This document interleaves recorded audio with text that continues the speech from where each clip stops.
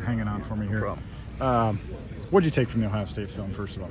Yeah, I mean it's tough. I, I thought we had a decent first half. Um, definitely winning the game, thinking we could win and all these Yeah. things, which is what you should do. Uh, we had a true belief that we could win that game, and we just didn't play the way we should in the second half. Um, whether it be turnovers and all these little things that matter, right? We just didn't play at a very high level that second half. You just didn't have the ball a lot in the second half. Obviously, turnovers are a big part Yeah. of that. But overall, it did seem like you guys moved the ball. I mean, it wasn't like a, a hundred yard game you've had in the past. You- Mhm. 46 plays, maybe 48, Yeah, 226. 49. Yep, 49 plays. Yeah. So I don't know. Like it's not horrible. Yeah. I mean, there's stuff to build on, right? Yeah. I, I just, like I said, like the biggest thing is just turnovers. Like you can't have those because those are killers, especially um, when you're on your own 20 or whatever it was. It's just hard, and the defense has to go out there.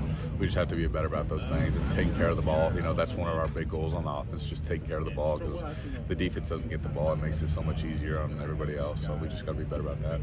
So when you, by the way, what happened on the bad snap? Was that was that uh, what happened? I couldn't see it on TV or Yeah. the game. Uh, geez, I, I don't know exactly what happened. Uh, Okay. It, it was probably on me. I don't know. It probably snapped it a little short or whatever it might have been. Um, it's hard to see on tape what exactly it was, but yeah, it, it's hard to I determine was just kind of clarifying. Um, so this week is a big challenge. Obviously, they're better than maybe people expected. They were in the national title game last year. What are you seeing on film? They, they, they play so hard. Probably the hardest playing team. Really? That I, yeah, that I've seen on tape so far. Just they play with so much energy and like high effort. Um, and they want to win, and I think that's the biggest thing is just having guys like that, uh, which makes them a solid team. And then they're pretty big up front. They got some big boys up there, uh, which will make it challenging for us. But it, it'll be super fun. And then they, they throw some different fronts at you too. So they'll go four down, three down, six guys, a whole bunch of stuff. So it'll definitely be interesting.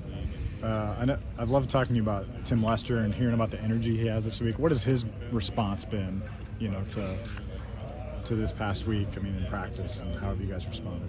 Yeah, he just knows that we need to get back to work. Uh, there's so many things that we need to get better at, and he understands that. And we're going to continue to do that, right? And it starts with coming in yesterday, right? So yesterday's supposed to be like a timid or more slowed down practice, but we don't we don't treat it like that. No, we're like we're going full speed, like we got to get going because you know this is Big Ten football. Like you're playing some big boy, like tough football. So you got to get after guys. And I just think he, he does a great job of making things hectic in practice, so that come game time, like it's a lot easier, which it is. I mean, they're throwing whether it be noise or screaming at you, whatever it might be. Mm-hmm. Saturdays are so much easier to play in because like we, we we've seen everything, you know, Monday, Tuesday, Wednesday at practice. Yeah. How would you describe the growth you have seen from the offense from August to now? Yeah. Um, Because I mean, a lot of people, you know, you know how it goes. People melt down on the outside, like if you lose a game. How what have you seen from the inside, like what the, progress you're making? Yeah, uh, there, I mean, there's just so many aspects of the game that have gotten better. So, like quarterbacks and wide receivers, it could be like timing on routes and things like that, or the run game, right? Knowing where it's going to hit and like what your aiming point needs to be, and if this happens, what needs to happen. Like, just these little details that people might not see, but you know we see, and you know they definitely help us. And then just being able to continue to grow and understand what Coach Lester wants from this offense and things, and people are still learning, you know, what he wants from this offense because it's all new. It is, but mm-hmm.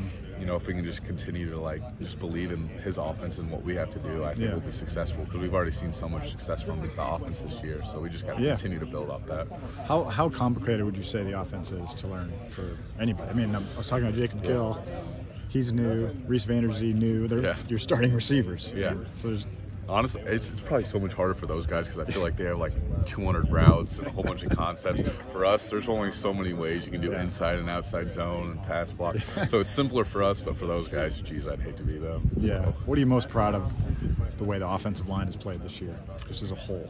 I just think being together, I think Yeah. that's one of the coolest things about it. Um, just how close we are as a unit. Um, these, I mean, these guys are my best friends.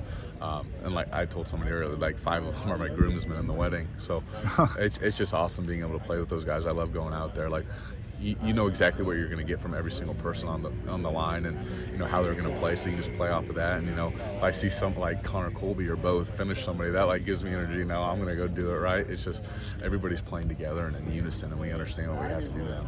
So your wedding is coming up. Is that right? Next year, July. And you've already so five of these guys are groomsmen. Five of them are Which groomsmen. who are who are the lucky guys? So it's Mason Richman, Connor Colby, Jeremy Chaplin, uh, Elsbury, and Nick DeJong. Okay. Yep. So it's ne- it's not this summer. It's next summer. Next summer, yeah. Yep. Or 2025. Or 20. Yeah, 2025. Okay, so July it is- 2025. Yep. I know you don't want that. You're, Yeah. you're worried about Washington. I realize. yep. Uh, what's the key to getting like big plays in the passing game? I know it all works together. You got to give Cade time, right? Yeah, uh, I think you got to establish the run game first. Yeah. You know, if you get the run game going pretty early, it definitely opens up some things for the quarterbacks and receivers. But I mean, just being on time, I think I don't really know a whole lot about the quarterback wide receiver position, but they always talk about being on time, being on time. So I assume they just have to get better at being on time. I guess I don't know exactly what goes on in the rooms, but yeah, that's what I hear.